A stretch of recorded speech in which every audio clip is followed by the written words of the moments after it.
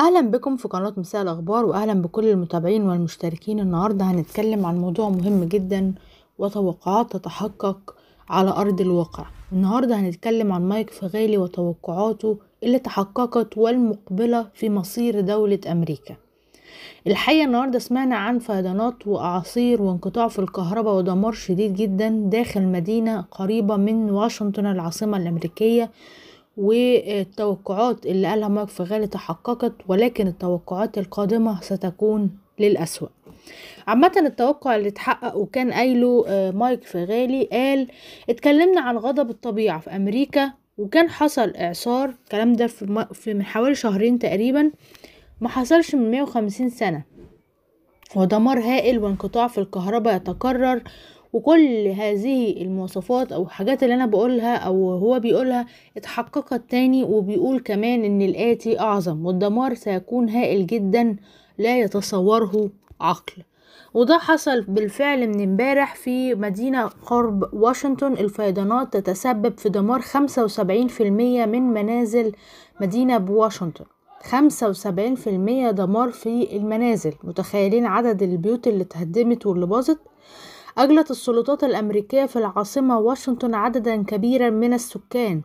بعد ارتفاع مستويات المياه التي أدت لحدوث فيضانات في مناطق من واشنطن العاصمة على الحدود الكندية وفقا لشبكة ال NBC ووصف مسؤولين في مدينة سومس بواشنطن قرب الحدود الكندية أضرار الفيضانات بأنها مدمرة.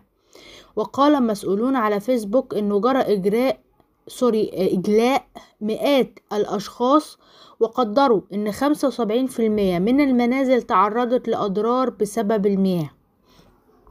وأعلن حاكم واشنطن جاي أنسلي حالة الطوارئ يوم الثلاث في 14 مقاطعة متأثرة بمياه الفيضانات والرياح القوية والأعاصير مما تسبب في قطع الكهرباء عن أكثر من 175 ألف شخص. كهرباء قطعت بسبب الهواء والأعاصير الشديدة بوظت حتى الأسلاك وبوظت الكهرباء. تسبب الارتفاع السريع في منسوب المياه من نهر سوماس في ولاية واشنطن في إغراق عمال الإنقاذ. ماتوا وجرى إخلاء 1100 منزل وانضم هؤلاء السكان إلى آلاف آخرين في المحافظة أجبروا على ترك منازلهم بسبب الفيضانات أو الانهيارات الأرضية التي بدأت ليل الأحد. ولا تزال المناطق الأكثر تضررا على طول نهر نوكساك في مقاطعة واتكوم ونهر ساكجت في مقاطعة ساكجت حيث وصلت الفيضانات إلى معدلات قياسية.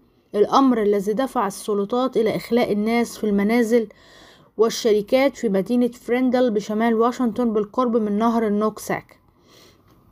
في ذروة العاصفة انقطع التيار الكهربائي عن أكثر من 158 ألف عميل للكهرباء في غرب واشنطن يوم الاثنين حيث وصلت سرعة الرياح لستين ميل في الساعة وظل أكثر من 31 ألف عميل للكهرباء في ولاية واشنطن بدون كهرباء يوم الثلاثاء. يعني قعد حوالي يومين من غير كهرباء والدنيا بايظة وفيضانات والهواء شديد جدا وأعاصير. وحاجة لا يعلم بها إلا ربنا وفيضانات دمرت البيوت وانهيارات أرضية وكمان آه مفيش كهرباء وحاجة صعبة جدا. بقول لك وصلت الفيضانات لمعدلات قياسية. في دمار شديد جدا بيحصل دلوقتي لدرجة إن هم أجلوا السكان من المكان وكمان عمال الإنقاذ اللي كانوا بينقذوا الناس غرقوا. طيب إيه المفروض التوقعات اللي بتنتظرها أمريكا في الأيام اللي جاية أو المرحلة اللي جاية على حسب كلام مايك فغالي كان قايل مايك فغالي إن أمريكا المرحلة القادمة هيكون فيها دمار وبركان وزلازل وتشرذم ولايات يعني واستقلالها. نيويورك تضررت بالإعصار ولكن في ولايات ستتضرر أكثر زي ما حصل في واشنطن دلوقتي. الأمور تبدأ بهزات عادية ثم الدمار يحدث فجأة. ثم الدمار يحدث فجأة. وكمان كان متكلم قبل كده على أمريكا وقال آه إن آه زي ما نبهت وقلت في خطر بيهدد أمريكا وخصوصا إحدى الولايات. شفنا بركان أو تاني أكبر بركان في العالم بدأ يخرج حممه وغطى حديقة كاملة. الأمور إلى أسوأ وخطر أكبر والموضوع ليه أثر سلبي على ثلاث ولايات أخرى. في 22 هتبقى سنة الخضات الكبرى وعهد الانكسار الذهبي للولايات المتحدة الأمريكية وهنبدأ نرى بها شبه تقسيم. ده كان كلام مايك فغالي لدولة الولايات المتحدة الأمريكية في المرحلة اللي جاية. وبدأنا نتلمس كلامه بالفعل النهاردة في الفيضانات اللي دمرت الدنيا خالص ناحية واشنطن والأعاصير والكهرباء اللي اتقطعت والناس اللي ماتت تغير الخسائر اللي بالملايين.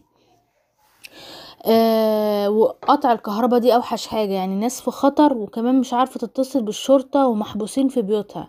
أنا مش عارفة إزاي يعني عايزاك تتخيلوا الوضع إن الدنيا خربانة برا ولا عارفين يطلعوا ولا حتى قادرين يستنجدوا إن الناس تجي آه تنقذهم. موضوع صعب جدا.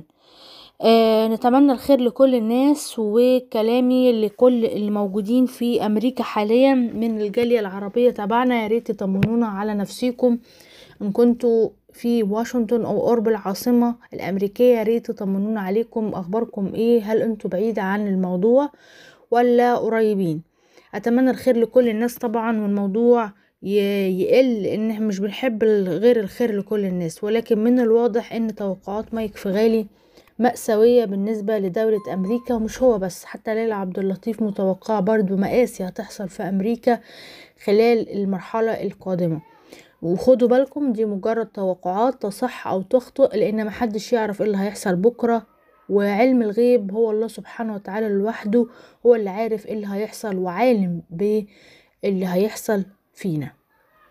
شكرا لحضراتكم ما تنسوش بس تشتركوا في القناة تفعلوا الجرس وتعملوا like و share للفيديو عشان يوصل لأكبر عدد ممكن من الناس. كمان آه في حاجة مهمة جدا يا ريت تكتبوا رأيكم وتعليقكم أسفل الفيديو لو حابين تشوفوا حاجة معينة حابين تشوفوا توقعات لشخص معين أو لشخصية معينة اكتبوا لي تحت في التعليقات وهندور عليها ونجيب لكم التوقعات. أه حابين إن إحنا نتكلم عن موضوع الأبراج وخصوصا مع قرب قدوم 22 عايزين تعرفوا الأبراج 22 هتبقى عاملة إزاي بالنسبة للأشخاص اكتبوا لي تحت برضو في التعليقات.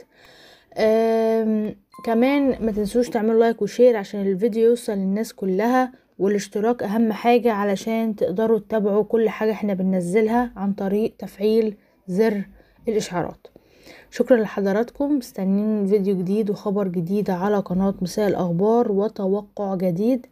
آه في حاجة مهمة كمان النهاردة في فيديو هينزل على الساعة عشرة. حابة أنبهكم أو عشرة وشوية بتوقيت القاهرة. فيديو مهم جدا وبيتكلم عن توقعات خطيرة.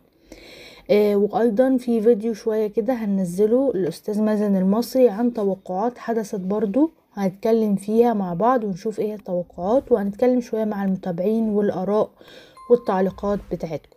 شكرا وأشوفكم بخير في فيديو جديد على قناة مساء الأخبار.